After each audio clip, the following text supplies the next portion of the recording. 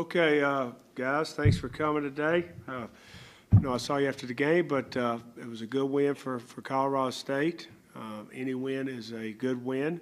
The great thing about it is, after watching the film, I, I still think there's a ton of improvement that we can make as a football team. Uh, We'll take today, and we'll go over the, you know, the good stuff, and we'll go over the bad stuff. Uh, Then we'll start working on our opponent of Arkansas, who, um, you know, we're excited to go to, to, to Fayetteville and play Arkansas. It's obviously an SEC opponent. Uh, anytime you get a chance, uh, you know, to play in a stadium, uh, an SEC stadium, our kids get excited. Uh, I know they, you know, are one and one right now, uh, just like us. Uh, and, you know, I know Coach Chavis really well defensively. He's got his defense playing extremely hard uh, pressuring the quarterback, running around on defense, offensively. To me, watching the film, it looked like they found their stride a little bit when they went with uh, Starkel, I believe that's his name, Nick Nick Starkel, the transfer from uh, A and M.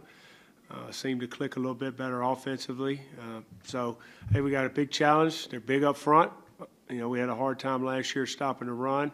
Uh, they're athletic on defense, and they've got some skilled players in the two receivers that uh, kind of scary. So we got a big challenge. Uh, you know, the most important thing that we got to do as a football team is correct our mistakes and go out and have a good week of practice and focus on us.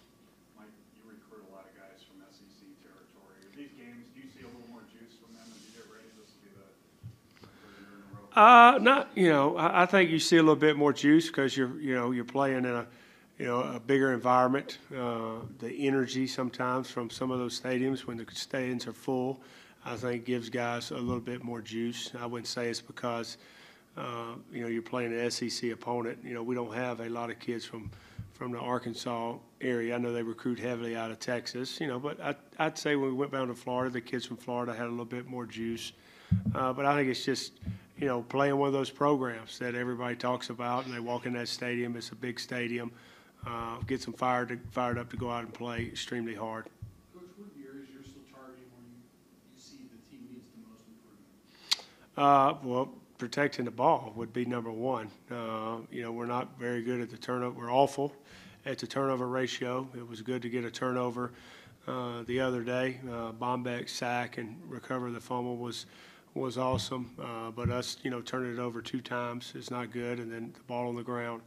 Another time, we're lucky that uh, uh, Western Illinois didn't recover that one. But we did have a couple fourth down stops, which are like turnovers, so they don't go in the turnover ratio. But that, you know, if you take those fourth down stops, we actually won the turnover battle on, on Saturday. But number one would be, you know, is protecting the ball and, and create more turnovers. Uh, gonna keep practicing it, you know, uh, you know, keep keep working on taking care of the football and protecting it the right way, and then defensively keep hustling to the ball, and I think the good things will happen.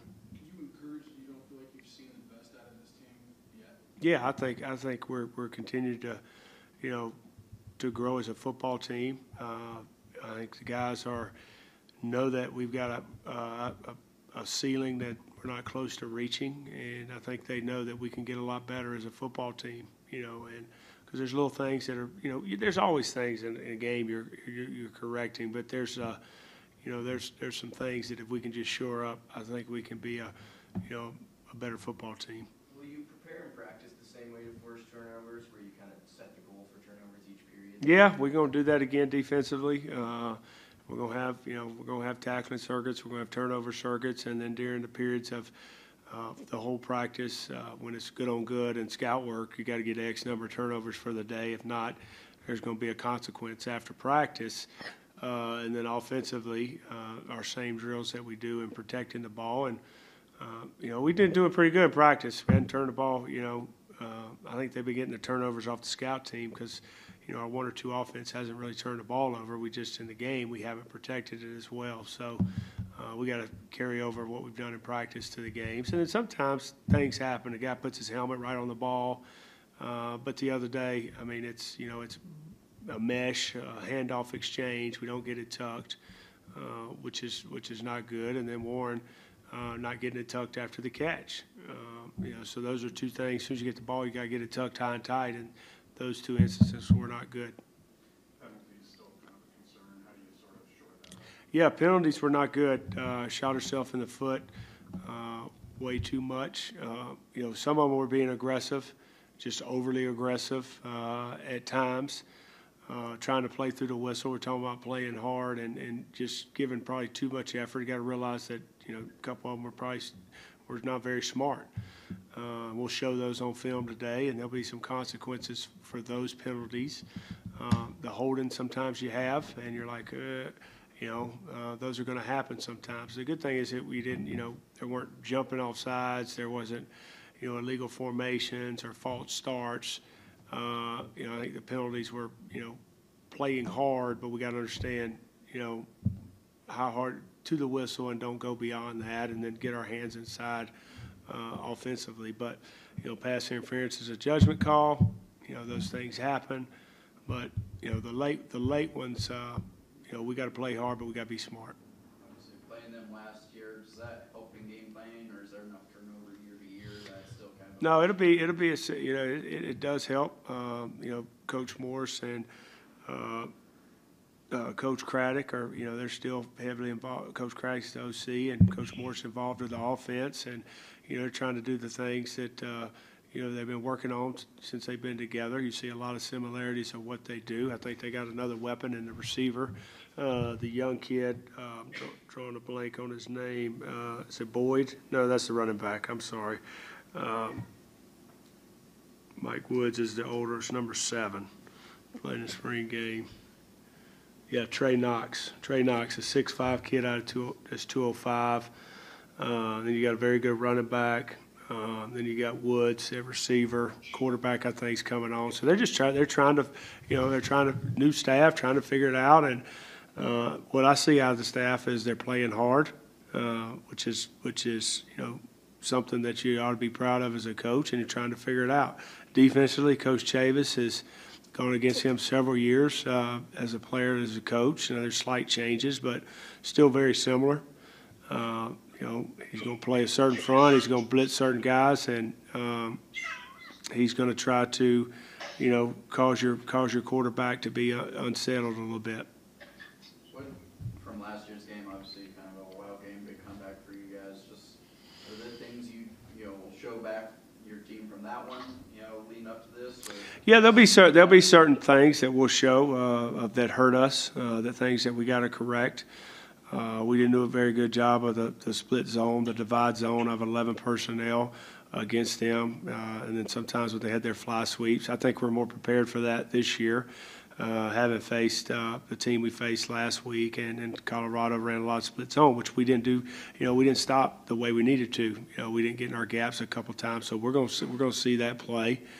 Uh, and they're going to run the motions and stuff, and then the, the, the naked bootlegs off of that stuff to try to, you know, get you out of phase. Uh, so they're, they've got some things that can that can hurt you, and will show. Uh, you know, offensively, uh, you know, I, I I really I haven't watched much of that game. We were, we were I know we ended up winning that game. We weren't very good offensively last year, so I try not to watch any of that.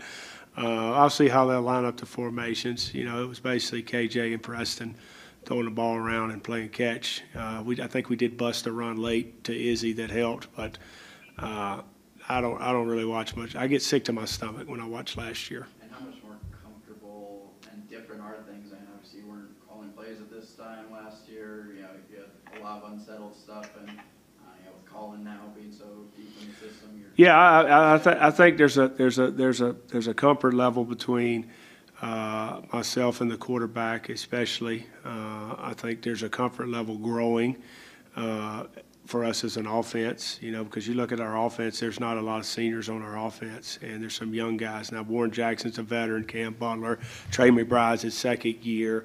Uh, you know, you've got some out there, but you got some young and Marvin Kinsey. Uh, but you got some young guys playing around that we're trying to, you know, put in position, and we don't want to do too much where they can't handle. I mean, it looks like we might be doing a much, but a lot out there, but we're kind of staying, you know, pretty simple for the offensive line, uh, so we can be successful. And they're doing a good job of doing their job. Um, you know, and then when we ask them to drop back protect, we're protecting pretty good. When we run block, run block, but we're doing enough stuff that's keeping people off balance and they're executing. But uh, you know, there is a, there is a comfort level because of the quarterback, and you got a guy that's a, a veteran guy. Have you seen some development in your wide receiver corps? I know EJ had a pretty decent game Yeah. last week. Ty got missed on a possible. Yeah, great, great, good, good, good question. Uh, really, really proud of EJ. Uh, worked extremely hard uh, to get back to this point. I think confidence level has been a thing for him coming back off the ACL.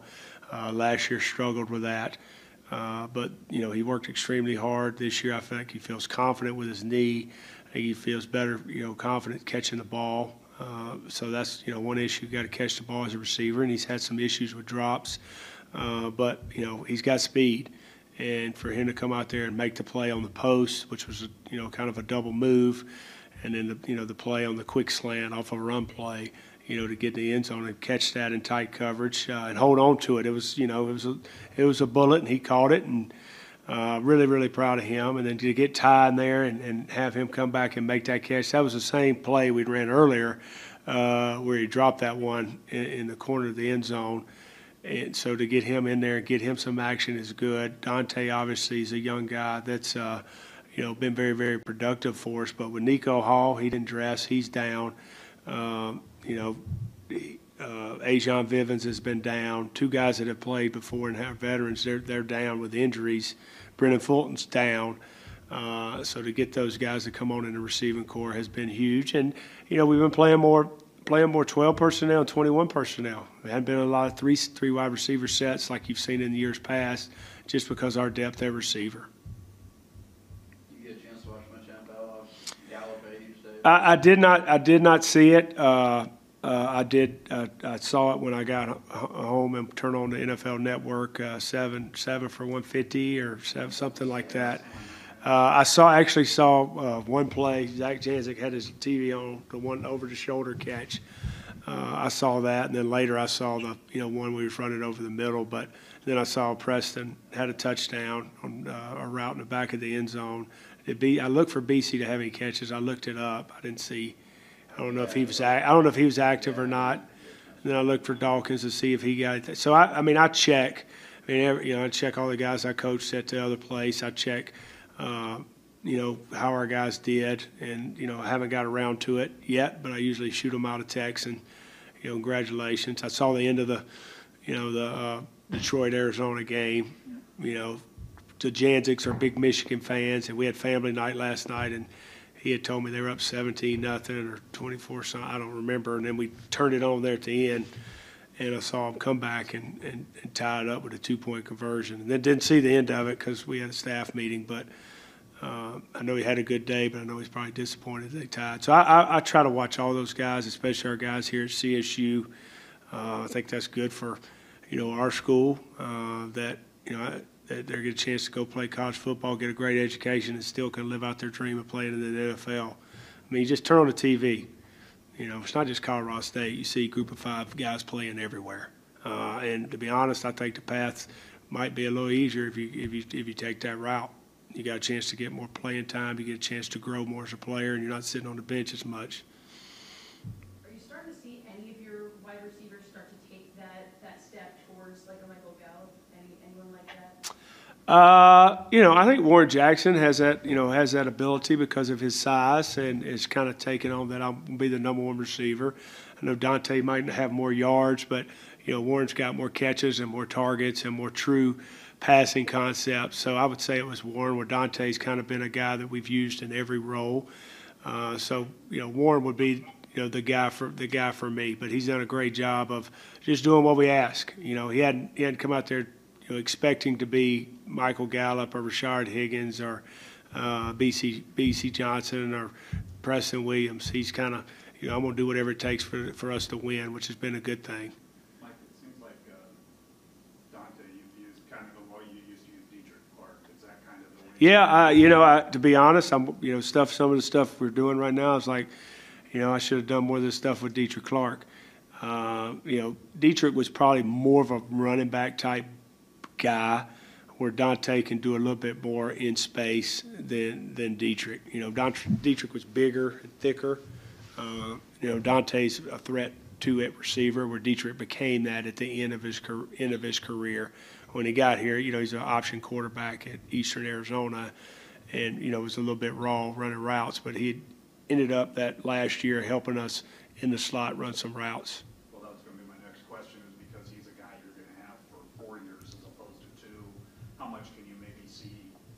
His role increasing and being able to find more ways to utilize him? over the next Well, I mean, well, I ain't worried about next year, Kelly. I'm worried about this week, and I'm gonna find ways to get him the ball this week. That's, you know, I mean, I, I'm, I'm, I'm, we're focusing on today and, and, and and getting it, but you, you know, you're always trying to find talent and improve your talent. That's your job as a coach to, to continue to improve guys for this year. I mean, you got, you know, you got Jalen Hurst as a guy. You got, you know, this a, a freshman receiver that's been out with a shoulder uh, injury that we're trying to get back, and who I believe's got some talent. So you still might see, you know, a lot of these guys this year. You know, that's our goal right now is trying to focus on this year. You talked about all the different things you can do, Dante, Marvin, all the speed guys, but how much does Collin Hill's decision-making make it easier to, to do all the different things? Well, I've been really, really impressed with Collin. I mean, he is, you know, we've hit, probably hit more checkdowns in these first two games than we've hit, you know, definitely more than we had last year, you know, probably in the last two years, and they've been for big plays. I mean, you know, the first check down uh, the other night was, the other afternoon was third and 12. It was the third progression. He went down to Marvin. He made a guy miss. The other pass to Marvin out of the backfield, it was a hot, you know, he was hot to the weak side, and he knew he was hot. He gave it to Marvin. You know, that's where he had to go with the ball, even though it was, uh, I believe it was third and 10 right there. He had to go there, and Marvin made his guy miss and score. Uh, happened a couple times in CU where you had to check it down to Marvin because they covered guys and ended up getting a first down. So uh, I think it's a big credit, you know, to Collin and knowing where to go with the ball, and then a credit to our back getting out and getting where he's supposed to be.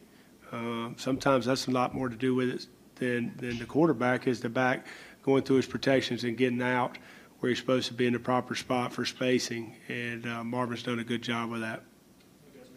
Hey, hey, Bob, you got anything?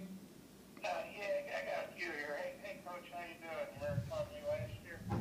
Yeah, I remember Bob. Hey, good hear a southern accent.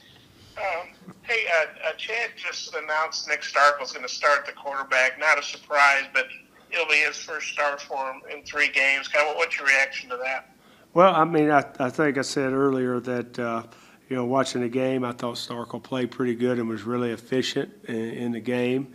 Uh, had a couple balls I thought that should have been caught. Uh, looked calm running the offense, so it wasn't a surprise to me uh, when he made that decision. And I'm sure, you know, sometimes it's trying to jumpstart, you know, your offense. But you know, I don't know really the ins and outs of it. I know we're going to prepare for both guys because both guys have played this year and and get ready to go. And, and you were saying earlier um, that you hadn't watched much film last year because it was such a rough year.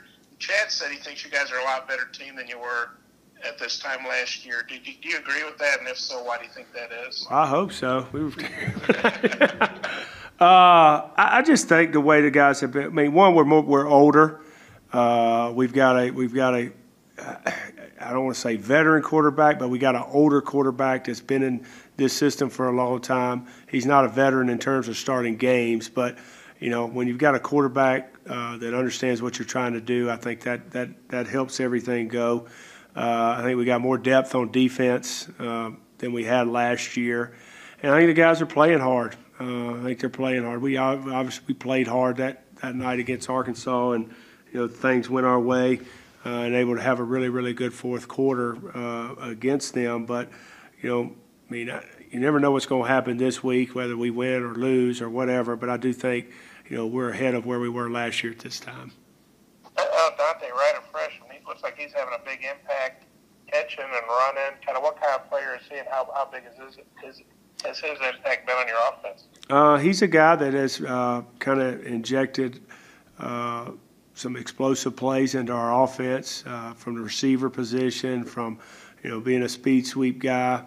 Uh, he's not a big guy, but he's been very productive for us all camp, uh, leading up to the first game of the season, and then he's been productive in the first two.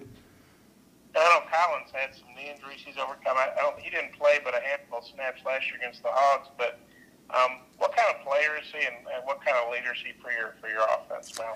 Well, I, first of all, I'd, I'd start with the, the leader. I think he's grown into that position uh, of being a leader. I think he feels more comfortable now because he truly is, you know, the starting quarterback. Uh, he's doing a good job of taking ownership of the team. You know, the last time he was truly the starting quarterback, he was a true freshman. Um, and sometimes you're just trying to figure out, you know, which, which way the strength of the formation is and where do I go with it. I mean, you're, you're struggling to just get to snap sometimes. And now uh, he's a fourth year junior. Uh, and he is, you know, he's the number one guy. I think he feels more comfortable in that role. I think the guys respect him because of what he's been through, two ACL surgeries, and how hard he's worked, and the type of person he is. As far as a quarterback, uh, I think he's a guy that's got, you know, all the tools. He's got ability to see downfield. Uh, he can go through his progression. He can make all the throws. Um, you know, mobility. He's not, uh, you know, he's not the fleetest uh, on foot, but uh, he does do a good job in the pocket of moving around checking the ball down and scrambling when need be.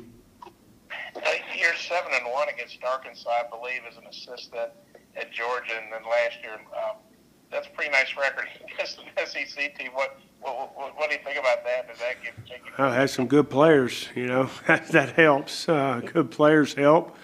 Uh, you know, I mean, I can think of some of those games that were there were nail biters of, of and just play, guys making plays. I got one guy on my staff, my receivers coach, Joe Cox. Uh, he had a decent day when he came down there before, but uh, you know those are different times. I mean, we played. I'm at Colorado State. We played them last year. Be honest, we were lucky to win that game. Uh, you know, played really, really good the fourth quarter and and found a way to win the ball game. Uh, but uh, you know, it's hard to it's hard to we get in that situation again on the road. I, we're not really going to have a chance to win, so we're going to have to play better this this year.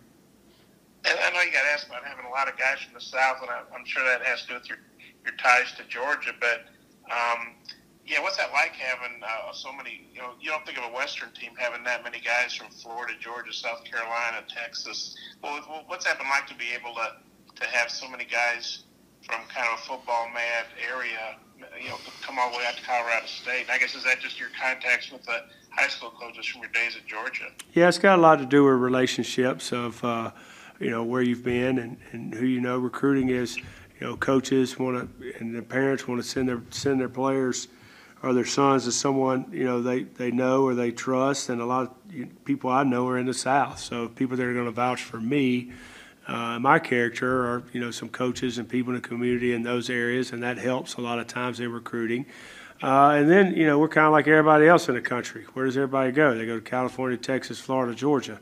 And, uh, you know, just contacts there have helped us get some. And then when we get guys on visits, you know, they see how beautiful Colorado is and Fort Collins. And, you know, I've, I've said this a thousand times, but I usually get this isn't what I was expecting when I came on this trip. Uh, and, you know, it's kind of, you know, it's a little secret out here. And so, as long as we can, we can stop all these people that are moving from Colorado, just let the players move out here, and I'll be all right. Yeah. yeah also, I know this is kind of an old story in Colorado, but I read this summer that you turned down a hundred thousand dollar raise that was, you know, it written into your contract. I don't know if I've ever heard of a coach or anybody for that matter doing that. I guess what what what led you to decide to do that, and how did you have to get your wife's permission, or, or how, how does that work? Uh, you know, we I, I didn't I didn't think we lived up to the, the, the, the, standard of the football team that I wanted here at Colorado State. Uh, and sometimes it's easy to, to come as you know a leader and point fingers and say we got to do this better, that better. You got to coach better. We got to play better. To, you know this position, which some of that might be all true, but I think the number one person that needs to be accountable is the head coach, and I want to show that accountability uh, to my coaches and my team, and just defer that raise and give it to our local media. That's who I gave it to. that part was a joke because they're sitting in front oh, of us. Uh, Arkansas coming off a rough game at Ole Miss. Um, you know, they kind of rattled a little bit at the end. They were down by 21. What are you expecting from them coming back home? Because even this early, they kind of got their backs against the wall a little bit. Yeah, I mean, you know, any anybody you play somebody's got their backs against the wall, they're going to come out fighting. And like I said earlier, this team, you look at the tape, uh, they're playing hard for 60 minutes. I mean, it's hard to win on the road, especially in the SEC. And you know, I know the final was 31-17, but it's it was actually a little bit closer than that. They get the one touchdown call back uh, for an eligible man downfield. Uh, had a couple turnovers uh, that cost them. Had a couple drop passes. So I mean, the final, you know, it looks like a Ole Miss, you know, had it in the bag the whole game, but I think there are a couple plays here or there that Arkansas is in that game uh, on the road, and you know, so now they're coming back home. They're coming to their home stadium, uh, and every time I've been to Arkansas, whether it's in Fayetteville or Little Rock, them fans are passionate. Uh, they're loud. Uh, they love their Razorbacks, and you know I'm gonna expect nothing less when we go into Fayetteville to play you guys. Yeah, got one more. Um, I know you guys broke a losing streak last week. How, how big is that to, just to get a win and, and win by a pretty good margin? How, how does that, what does that do for your confidence momentum? Well, I mean, I. I uh, you know, winning. I always tell these guys here, winning's good for team morale. Losing's bad for team morale. So it was good to get a win. Uh, and sometimes you forget what it's like to win, you know, a ball game. And uh, you know, we we enjoyed the win. You know, we celebrate that win, and now we're gonna get get on to Arkansas. But uh, you, you know, that's just that's just one win in a season, and I think we got a lot to do as a football team. And you know, we got a big task in front of us with, with playing Arkansas on the road. Uh, hey, Coach, that's all great. Anything else you want to say? No, I'm good, big man. All right, Bob. Thanks. Okay, thanks. Thanks.